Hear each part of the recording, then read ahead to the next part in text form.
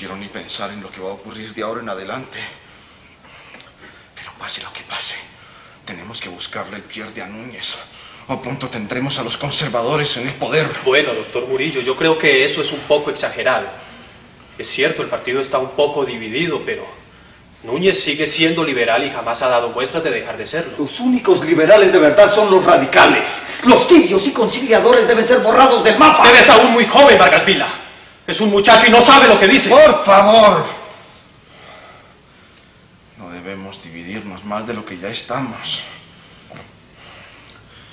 Ahora debemos aunar nuestras energías alrededor de un candidato nuestro. ¿Y cuál sería, doctor Murillo?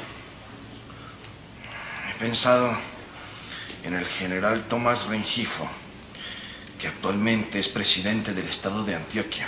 Pero, doctor Murillo, eso no puede ser, no es conveniente. ¿Y por qué no? A Núñez tenemos que enfrentarlo a alguien con energía. Tiene que ser un radical, convencido y batallador. Si me muestro confundido es porque el general Rengifo ha dado muestras de violencias y de injusticias en Antioquia. Eso es lo que dicen nuestros enemigos, doctor Galindo. ¿Acaso usted está cambiando de bando? Le pido más respeto, joven. Si quiere ser escritor, debe pensar las cosas antes de hablar. Ya le he escrito a Rengifo.